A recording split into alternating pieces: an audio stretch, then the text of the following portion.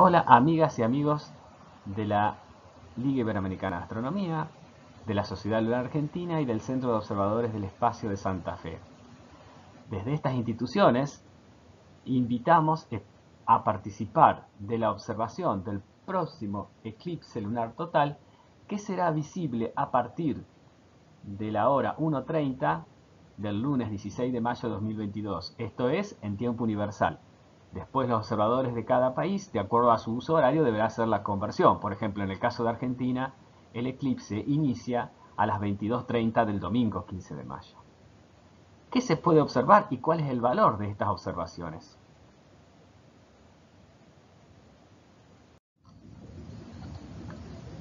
Todas las observaciones, de cualquier tipo, son valiosas y necesarias. Las imágenes del eclipse son siempre necesarias, son siempre apreciadas por una serie de organizaciones de astrónomos amateur, entre ellos las nuestras, pero también otras de carácter eh, más amplio, como la Association of Lunar and Planetary Observers y demás. Las imágenes, para que tengan valor científico, siempre deben estar acompañadas de los siguientes datos mínimos. Día y hora en que se realizó la observación, en, tiempo universal o si no, en tiempo, en, uso, en el uso horario de cada país, pero indicando si la observación, si el tiempo, es decir, el día y la hora que se está señalando es en tiempo universal o en el horario o en el uso horario de cada país. El, del telescopio, el tipo de telescopio, refractor, eh, Maxutov, Cassegrain, etc., el tipo de telescopio y el, la apertura en milímetros o en pulgadas. Y los datos de la cámara, aunque no necesariamente tiene que, haber una cámara eh, involucrada, pero si nuestras imágenes son a través de una cámara, los datos de la cámara. Hay una serie de datos de valor que podemos observar en un eclipse lunar y que vamos a comentar ahora. Por empezar, invitamos especialmente a participar del proyecto del astrónomo Giovanni Di Giovanni del Observatorio Astronómico Colle Leone en L'Aquila, Italia, Giovanni estudia la relación entre la variación de la luminosidad de la Luna en un eclipse con la transparencia de la atmósfera terrestre, especialmente en la cercanía temporal de erupciones volcánicas importantes. Para ello, como por ejemplo hace poco se produjo en, Canarias, ¿no? Para ello el procedimiento es sumamente sencillo, incluso puede no usarse telescopio siempre que la, que la imagen que obtengamos con una cámara o con un este, teleobjetivo, siempre que la imagen que obtengamos en ella aparezca la luna completa. El procedimiento consiste en tomar imágenes de la luna siempre con el mismo instrumento. Es decir, siempre con el mismo instrumento, siempre con la misma, este, respetando el mismo diámetro y distancia focal. Siempre con la misma ISO. Siempre sin filtros y en una secuencia establecida que vamos a ver a continuación y que básicamente podemos decir que es tomar dos imágenes antes de iniciar el eclipse, separadas ambas por media hora, para poder calcular el coeficiente de extinción de la atmósfera, mm, luego ir realizando, como vamos a, ver a continuación, una serie de imágenes durante el, eclipse y al finalizar el eclipse también eh, lo mismo que al inicio, ¿no? dos imágenes separadas una vez terminado el eclipse. Siempre hay que indicar el sin al inicio y al, fin del eclipse y tener en cuenta que las imágenes deben ser no procesadas. Después obviamente pueden ser procesadas para poder ser compartidas, pero eh, el estudio de Giovanni necesita que no sean procesadas. Aquí está la tabla de las imágenes a obtener de manera ideal, digamos, ¿no? Imágenes antes de la, de la penumbra, en la penumbra, en la umbra y demás. Otros estudios que podemos realizar es estimar la apariencia en, digamos, grados de oscuridad de la sombra del eclipse.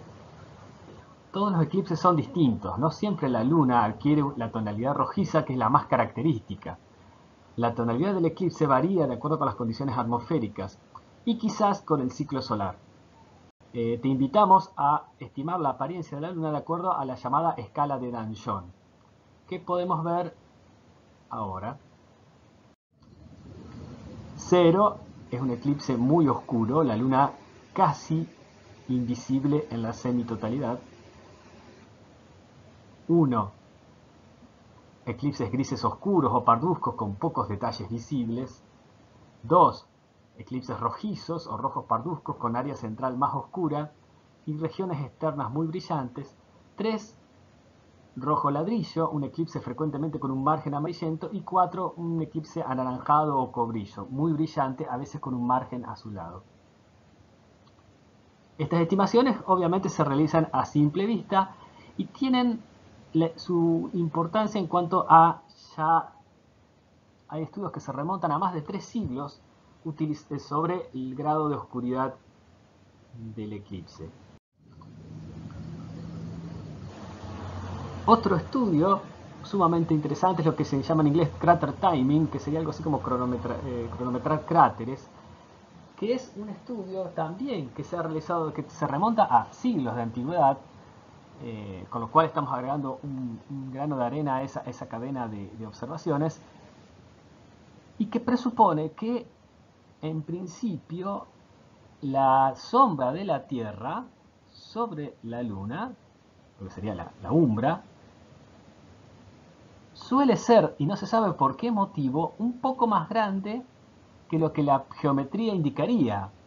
Esa diferencia es bastante mínima, es de alrededor de un 2%.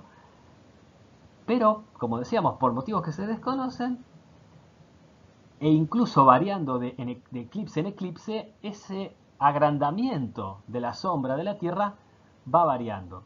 Por eso es que el método para calcular en cada eclipse cuánto varía el tamaño de la sombra de la Tierra es ir cronometrando en estos puntos que están aquí indicados cuando la sombra pasa por cada punto.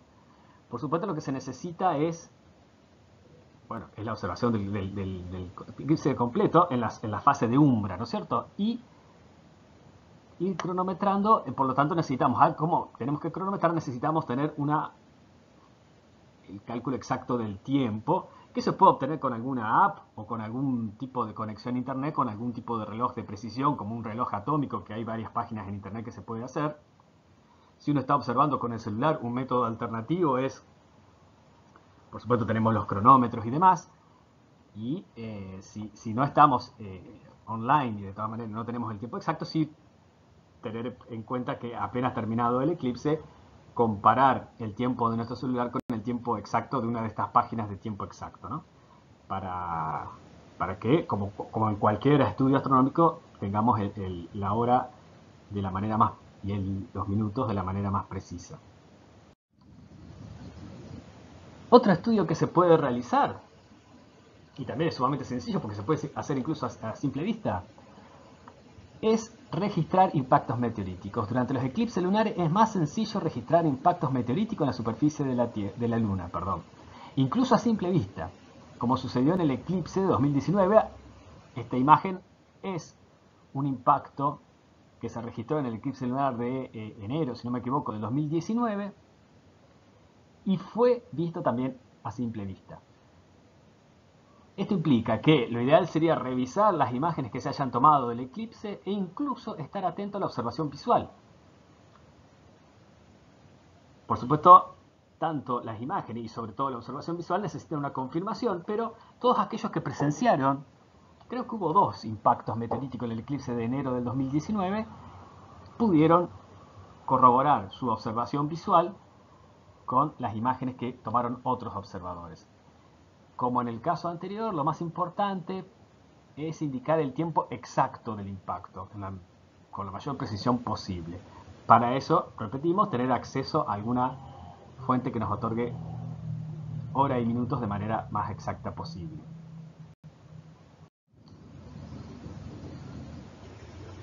Otro estudio a realizar es registrar la superficie de la Luna en los accidentes selenográficos en los cuales se haya producido eventos anómenos en anteriores eclipses, supuestamente relacionados con el brusco descenso de la temperatura en la superficie lunar cuando se produce un eclipse. Esto es parte del proyecto de verificación y eliminación de reportes históricos de fenómenos lunares transitorios que está dentro del programa de detección de cambios geológicos lunares. Es un programa que llevan adelante la Association of Lunar and Planetary Observers, ALPO, la British Astronomical Association, y dentro de ella la sección lunar, y la Aberystwyth University, que es de Gales, en el Reino Unido. Es un programa que trata de verificar lugares en la superficie de la Luna en los que se hayan producido anteriormente reportes de fenómenos lunares transitorios para poder comparar con el mismo, las mismas condiciones de iluminación de, la superficie, de ese lugar de la superficie de la Luna, cuál es la apariencia normal de, de ese lugar de la superficie lunar y compararlo con lo que se reportó como un supuesto evento anómalo. En este caso sería una aplicación de este programa con el que la aliada y más precisamente su sección lunar viene colaborando desde agosto del 2015 todos los meses con reportes, esta sería una aplicación a esta circunstancia excepcional que es un eclipse lunar. Para ello, para saber qué son, cuáles son los accidentes que tenemos que observar, podemos recurrir a esta página, que también se encuentra en la web de la sección lunar de la Liga Americana de Astronomía. Ir a esta página, que va a abrir este, este esta, esta web. Uno sigue esta web de la izquierda, en la, parte de la derecha están, se abre ese mismo link, hay una serie de nuevos links de acuerdo a algunos lugares de Latinoamérica. Usted puede, ustedes pueden elegir el lugar que esté más cerca de esos lugares que se indican, el que esté más cercano a su ubicación geográfica. Hacen clic en, por ejemplo, eh, Quito, Popayán o, o, Buenos Aires y eso lleva, eso lo lleva, decía, a una nueva página donde se elencan los lugares donde se han producido fenómenos lunares transitorios y que corresponden. En este caso es eh, para la ubicación más cercana a, mi observatorio, donde se nos indica, por ejemplo, que está que entre las 22.41 y las 22.45 del 15 de mayo, esto es antes del eclipse, eh, incluso, lo cual igualmente sigue siendo, sigue siendo válido, eh, se produjo, bueno, hay que observar Copérnico. Entre las 22.41 y las 23.58 de ese 15 de mayo habría que observar en general la, luna, digamos, ¿no? De 21 a 42, 22.41 a 23.03 Eratóstenes y demás.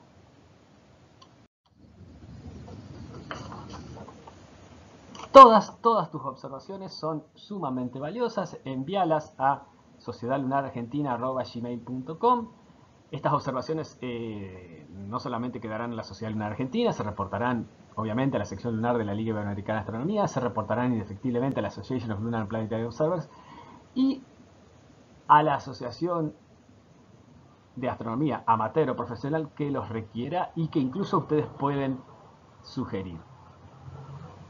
Bueno, espero que podamos observar sin nubes el eclipse lunar del 15-16 de mayo.